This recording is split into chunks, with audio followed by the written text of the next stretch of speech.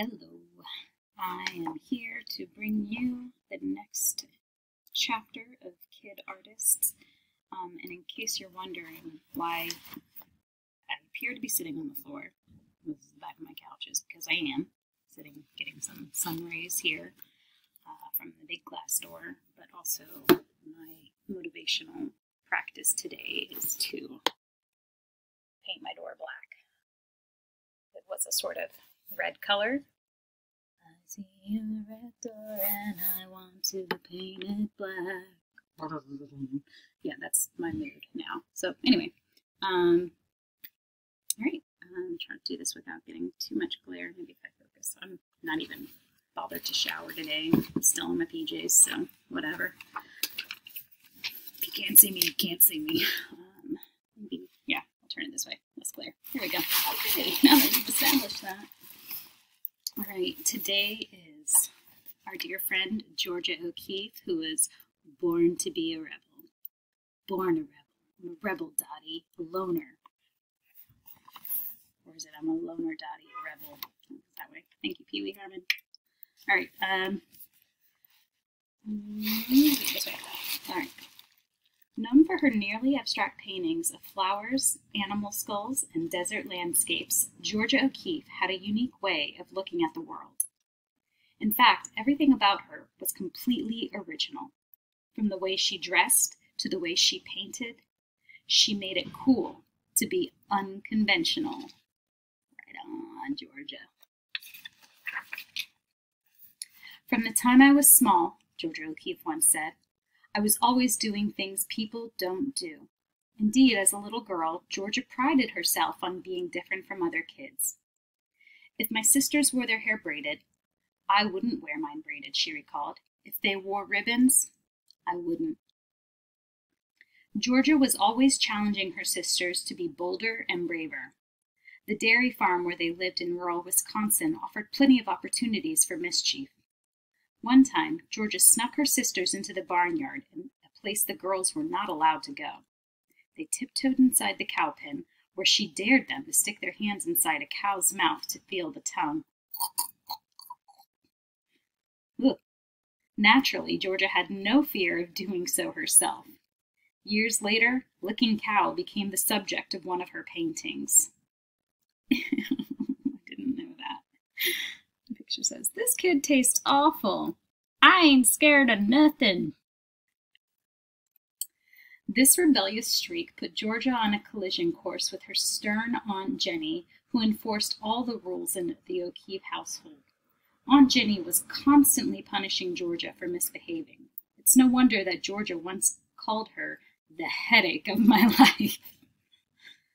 to make matters worse, Aunt Jenny was constantly praising Georgia's older brother Francis, so Georgia decided to be better than Francis at everything. She outstudied, outraced, and outclimbed him every chance she got, but no one in her family ever noticed. Picture. Ooh, ah, check it out. How many cow tongues do I have to grab to get some respect around here? Georgia. Georgia soon learned that being the black sheep in the family had its advantages. With Francis getting so much attention from the grown-ups, Georgia was free to sneak off and explore outdoors. She'd spend hours sitting under the apple trees on her farm, or gazing up at the clouds, or carefully examining the petals of brightly colored wildflowers. One time she even ate dirt just to find out what it tasted like. There's a picture of her saying, It's actually not too bad. Um, and I've heard that people with iron deficiencies kind of crave dirt to get the iron out of the dirt. I used to work with a lady back in Georgia who um, conf- confessed her dirt eating love because of her iron deficiency. Uh, anyway, that's funny to read about Georgia's interest as a little girl about drawing flowers and um, looking up at the clouds, as that's a lot of her subject matter, as we know. Georgia loved nature but at first she had no way to express how the natural world made her feel, until she learned to draw. That happened when she was nine years old and she began attending art classes. In those days, young girls were usually sent to study art so they could learn how to decorate their homes when they got married. Of course, Georgia had other ideas. She wanted to make art for herself, not for some future husband. Mm-hmm. Here you go. Georgia spent hours studying the fundamentals of drawing, endlessly copying cubes, squares, spheres out of an art instruction book. By practicing drawing geometric shapes, Georgia became so good at drawing that even her mother took notice. At last, she was better at something than Francis. Art gallery. Mom calling her Rembrandt, which is another famous artist from the Renaissance. Georgia's mother decided to send her daughter for private lessons given by a local painter named Sarah Mann. Every Saturday, Georgia made the seven mile round, tr- round trip buggy ride to Miss Mann's home in Sun Prairie. I love that they said buggy because I say that for anything on wheels. In these classes, Georgia was not asked to copy whatever images were put in front of her. Instead, she was allowed to choose what she wanted to draw. Some of Georgia's early works included an Arabian horse, and a single red horse. By age 12, Georgia knew she wanted to be an artist. I decided that the only thing I could do that was nobody else's business was to paint, she once said. I could do as I chose because no one would care. But her need for complete freedom would be tested at the next stop on her journey the Sacred Heart Convent School in Madison, Wisconsin. Ruh-roh, Catholic school. It's tough there, y'all. Georgia enrolled at Sacred Heart at age 14, and the rules were stricter than anything she'd ever experienced. The nuns who ran the school controlled every aspect of the students' lives. Each girl was required to wear a black veil on Sundays. Um, I just lost my place. A black veil to attend chapel every morning, and they all had to wear black on Sundays. The nuns could stop any student at any time to inspect her mail or read what she was writing in her notebook keeping our eyes on you, young lady. Oof, can you imagine that sort of, I was going to say big brother, but I guess it's like big mother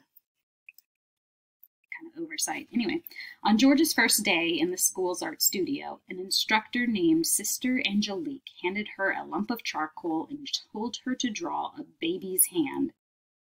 That's a weird request. Georgia did the best she could, but her teacher did not approve of the results. It's a terrible subject matter. Draw a baby's hand. Anyway, it's so hideous. I can't even look at it. I will not cry. I will not cry. Mm-hmm. Other kids might have given up, but Georgia saw the criticism as a challenge. All right. She decided to do everything she could to meet and exceed Sister Angelique's tough standards. Her drawings became larger and larger. At the end of the school year, Georgia won two medals one for improvement in illustration and drawing, and the other for deportment or good behavior. it was Georgia's first good conduct prize, and it would be her last. She would return to her rebellious ways. Atta girl. The next year, Georgia and her family moved from Wisconsin to Williamsburg, Virginia. She enrolled at Chatham Episcopal Institute, an expensive boarding school that was very different from Sacred Heart. At Chatham, the teachers gave Georgia total freedom, although the other students uh, had trouble accepting her unconventional behavior. Some girls made fun of her Wisconsin accent and unusual clothes. Most of the girls wore ruffled dresses and put elaborate ribbons in their hair, but Georgia preferred drab, loose fitting coats. She twisted her hair into one long braid that ran halfway down her back. Um, her appearance was unusual compared to that of her classmates, but Georgia didn't mind being different. She's so plain. Poor girl. I know what she was thinking. Fortunately, there was a bright spot at school Georgia's art teacher. Elizabeth Willis recognized her new student's ability almost immediately. She provided Georgia with her own table in a private studio and allowed her to work at her own pace. When the other students complained that Georgia was being given special treatment, Miss Willis defended her decision. When the spirit moves Georgia, she can do more in a day than you can do in a week. Oof. Miss Willis taught Georgia to look at the natural world in exciting and unusual ways. She encouraged Georgia to hold wildflowers and examine the blooms from different angles. Then Georgia would try drawing the same flower over and over, sometimes showing only parts of the blossom or simplifying the shapes until they were barely recognizable. It was a technique she would use later, and more than 200 flower paintings she produced during her career as an artist. Some beautiful um, illustrated examples of what her close up flower drawings are sort of like. But again, it's not her pictures, it's the illustrations by Doogie Horner.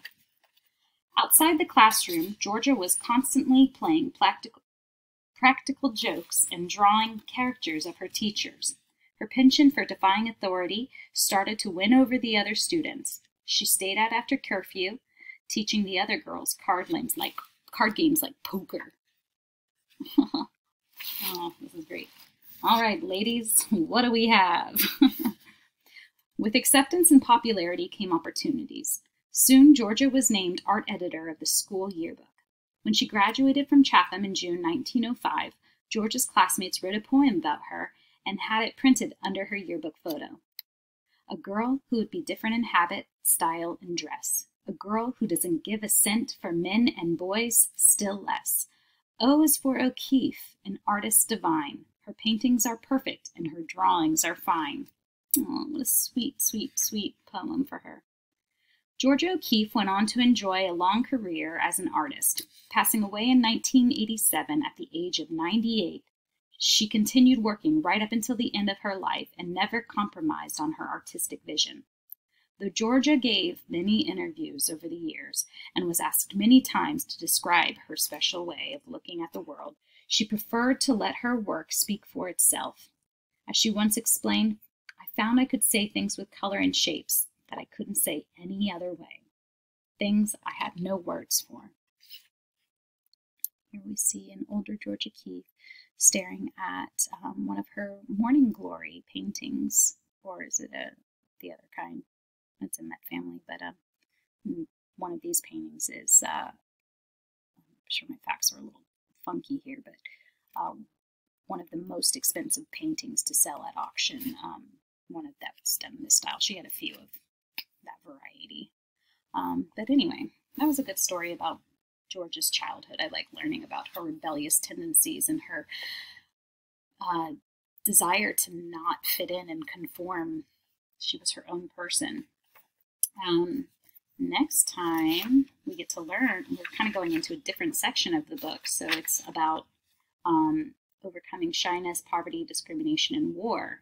Um, so it's all about Overcoming Obstacles, our next chapter. And I'm so stupid, I did not even realize that these chunks of it were themed. So our first theme was all about the great outdoors. that makes sense because they were all really into nature.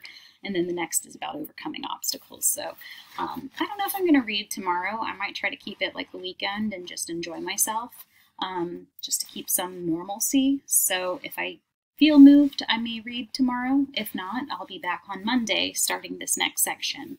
Um, but doesn't end without a lesson. My lesson uh, to inspire you guys um, for this chapter is uh, perhaps like Georgia O'Keeffe, you could find a flower in your house or in your yard if you have one, um, or a plant, any kind of plant, and try drawing it super up close.